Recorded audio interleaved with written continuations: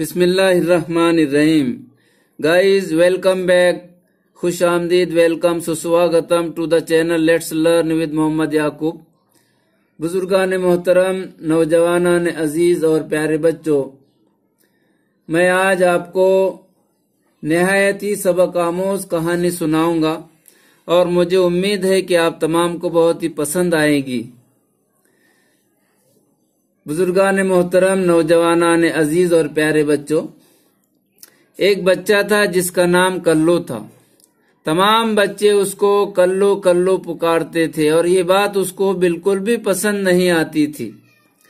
ایک دن وہ اپنے صدر مدرس، ہیڈ ماسٹر صاحب کی خدمت میں حاضر ہوتا ہے اور ان سے بڑی آجزی کے ساتھ بڑی انکساری کے ساتھ منکسر المزاجی سے ان سے درخواست کرتا ہے کہ وہ اس کا نام بدل دیں، اس کا نام تبدیل کر دیں۔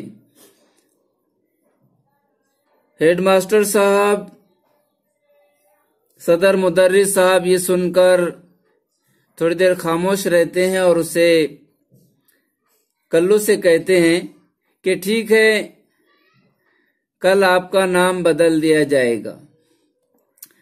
کلو بہت خوش تھا یہ سن کر۔ چنانچہ کلو خوشی خوشی اسکول کی چھٹی ہونے کے بعد وہ گھر کے لیے نکلتا ہے اپنے ساتھیوں کے ساتھ۔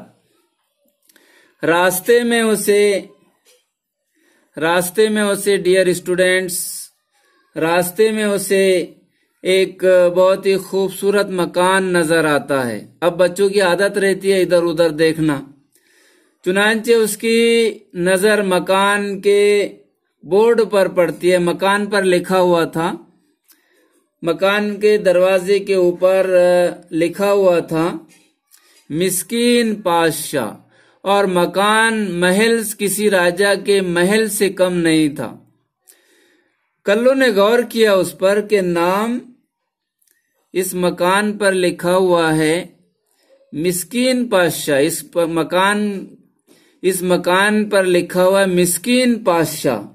اور محل سے کم نہیں ہے یہ مکان۔ اور اس کا مالک ہے مسکین پادشاہ۔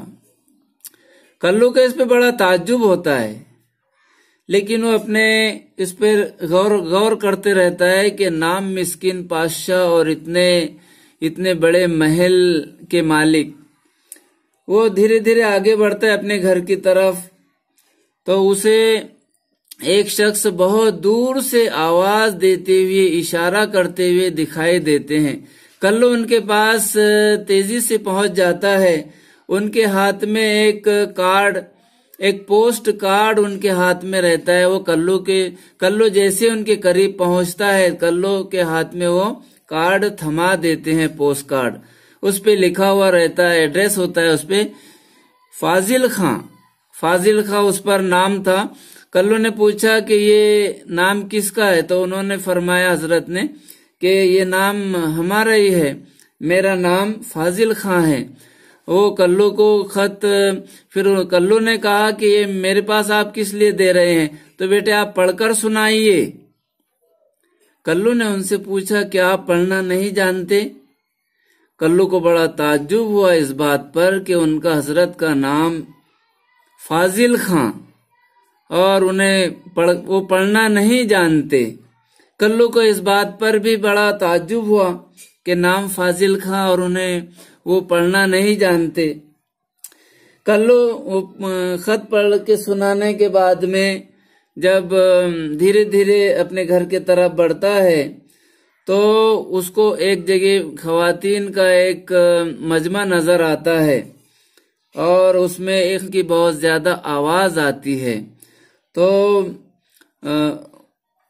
کلو جو کلو اس مجمے کے، بچوں کی عادت رہتی ہے کہ مجمے کے پاس کھڑے رہ کر تماشائی بن کر کھڑے رہنا، اس کو دیکھنا۔ تو کلو نے کسی سے پوچھا کہ یہ خاتون جس کی بہت اونچی اونچی آواز آ رہی ہے، جو لوگوں کی شان میں گستاخی کر رہی ہے، گستاخیاں کر رہی ہے ان کا نام کیا ہے؟ تو کسی نے کہا کہ ان کا نام خیر النساء ہے۔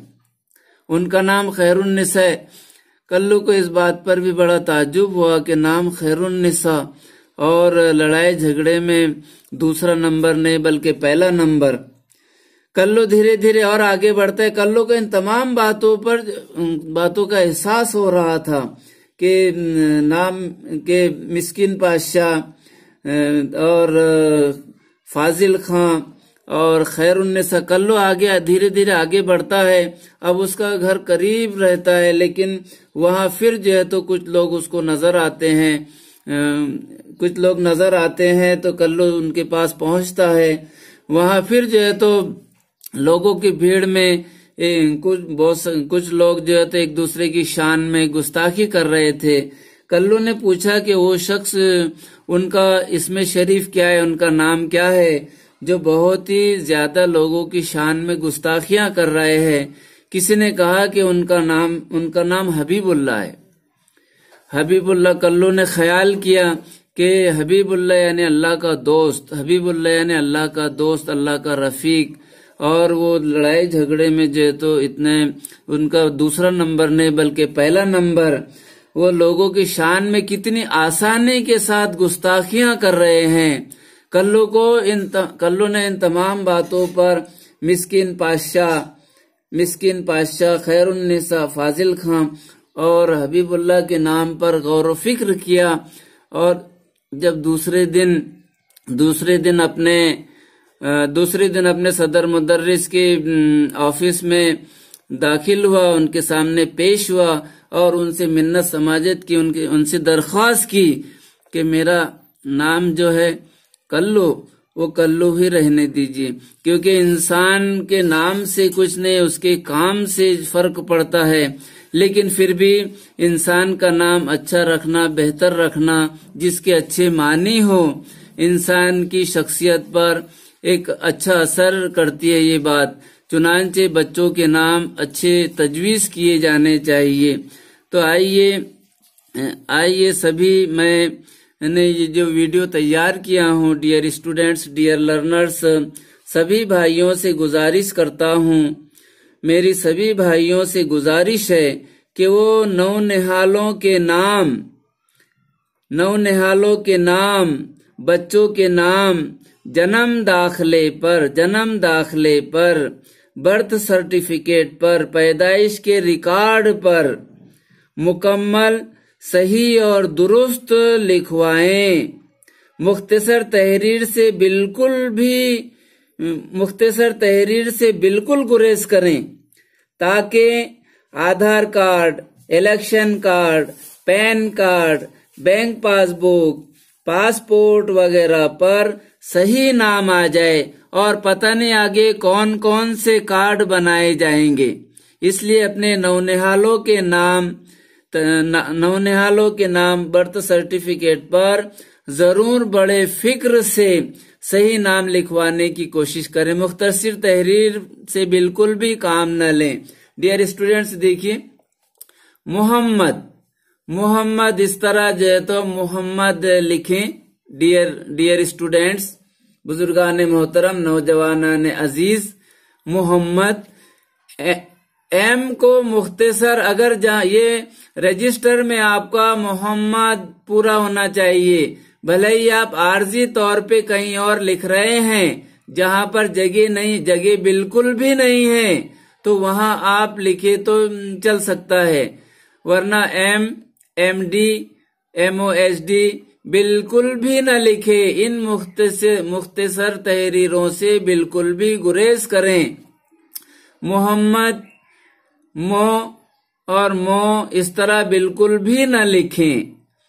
یہ بہت بچوں کو اس سے تکلیف ہو رہی ہے۔ پاسپورٹ بنانے میں، پین کارڈ بنانے میں، آدھار کارڈ بنانے میں بالکل بہت پریشانیوں کو سامنا کرنا پڑ رہا ہے۔ دیکھیے سید کو اس طرح لکھیں ہم سب مل کر۔ ایس اور ایس ڈی بالکل بھی نہ لکھیں۔ سید اس طرح لکھیں، صحیح بالکل بھی نہ لکھیں، مختصر تحریر سے بالکل بھی گریز کریں۔ شیخ شیخ اس طریقے سے لکھیں، اس طریقے سے لکھیں۔ ایس اور ایس کے بالکل بھی نہ لکھیں۔ شیخ کو پورا لکھیے اور شے بالکل بھی نہ لکھیں۔ ڈیئر اسٹوڈینٹس بس آج کے لیے اتنا ہے۔ ڈیئر اسٹوڈینٹس بس آج کے لیے اتنا ہے گڈ بائے اللہ حافظ